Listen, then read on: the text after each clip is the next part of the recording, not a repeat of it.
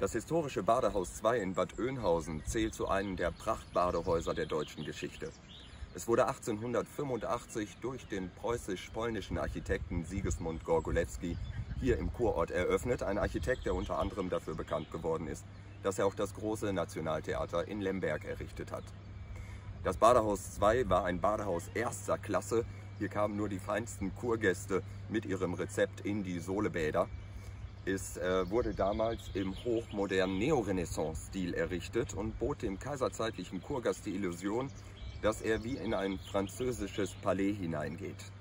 Der Architekturstil, den hat man vor allen Dingen kopiert von den Königsplätzen in Paris. Auf dem Place du Bourget finden sich Palaisbauten, die genau in diesem sogenannten Breguet-Pierre-Stil gehalten sind. Der Eingang vom Badehaus 2 ist als antike griechische Tempelfassade dargestellt. Und wie in der Antike finden wir oben im Dreiecksgiebel eine Göttin. Es ist Hydeia, die personifizierte Gesundheit und Symbolfigur der Stadt Bad Oeynhausen seit 1845.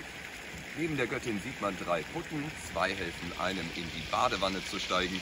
Warum der kleine Mann baden muss, das sieht man ganz links, da hat er Rollstuhl und Krücken am Ufer stehen lassen. Auch das ist wiederum ein wichtiges Symbol für die Stadtgeschichte Bad Oeynhausens, denn Bad Oeynhausen war ab 1874 die erste komplett barrierefreie Stadt in Deutschland. Tja, über den hochwertigen Mosaikfußboden des Badehauses liefen berühmte Gäste in der Geschichte des Gebäudes.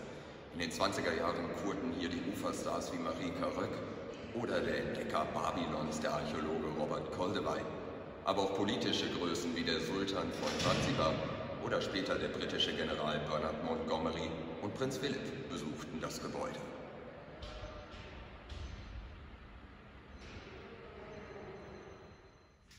Tja, damals wie heute ist die schönste Anwendung in Bad Oeynhausen das Thermalsohle oder Sohlebad im Badehaus 2.